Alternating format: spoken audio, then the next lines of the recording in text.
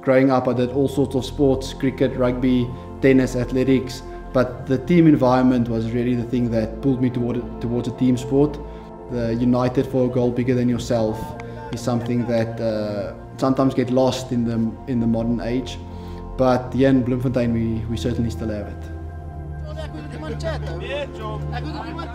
I'm a family man. It's probably my, my biggest, uh, the biggest thing in my life is family. Uh, my personal life actually makes me a better rugby player. Um, I think sometimes you get so caught up in rugby, it's all you do. You put so much energy and uh, time into it that it consumes all your thoughts and uh, all your self-worth is determined by it. But I mean, Christy brings balance to my to my life, and then obviously Liam.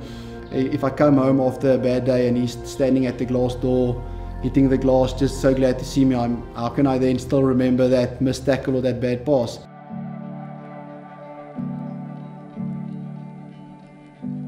It's not only about training, it's also about resting and then also recovery and obviously just getting Liam out of the house with the dogs, going for a walk, seeing there's such a big part of life outside of rugby. Going back the next day, it actually gives me new energy to focus. So uh, I think from a young age I knew I wanted to do more than just be a rugby player. So I'm trying to empower myself as best I can. I'm currently studying, or I'm still studying, it's been 10 years now. So uh, I, um, I'm busy with my third degree